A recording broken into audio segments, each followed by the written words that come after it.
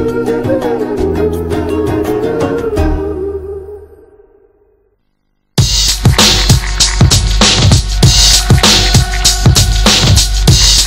مع المنافسة الساخنة بين 22 لاعبا على أرض مدينة السمسمية يشهد لقاء سموحة والمصري مواجهة من نوع خاص بين الفرنسي دينيس لافاني المدير الفني لسموحة ونظيره في المصري طارق يحيى. لافاني الذي حقق نتائجا رائعة مع الاتحاد السكندري في الموسم الماضي عاد لمصر بعد تجربة قصيرة مع نجران السعودي لخلافة حمادة صدقي الذي أقيل من تدريب سموحة عقب خسارة الأزرق أمام طلائع الجيش في الجولة الرابعة ولكنه خسر في أول مواجهتين أمام الداخلية بهدف دون رد بالإسكندرية والزمالك بهدفين نظيفين في القاهرة في الجولتين الخامسة والسادسة قبل أن يعرف معه الفريق طريق الانتصارات على حساب حرس الحدود بهدفين أيضا في الجولة السابعة. من جانبه تولى طارق يحيى جناح الزمالك الدولي في الثمانينات والتسعينات مهمة قيادة المصري بداية الموسم الحالي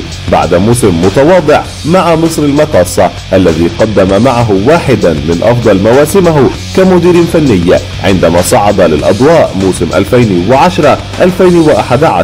وأنهى المسابقة في المركز السادس برصيد 45 نقطة. يحيى بدأ موسمه مع المصري بشكل جيد ونجح في حصد عشر نقاط في الجولات الخمس الأولى قبل أن يتراجع في آخر جولتين عندما خسر من طلائع الجيش بهدفين لأربعة وتعادل مع الداخلية سلبيا. في المواجهات المباشرة بين الرجلين تفوق الوطني على الفرنسي في الموسم الماضي عندما قاد مصر المقاصة للفوز على الاتحاد بهدفين لهدف في الجولة الثالثة عشرة بالمجموعة الأولى التي أنهاها سيد البلد في المركز الثالث برصيد 31 نقطة مع لافاني مقابل 24 نقطة للمقاصة مع يحيى.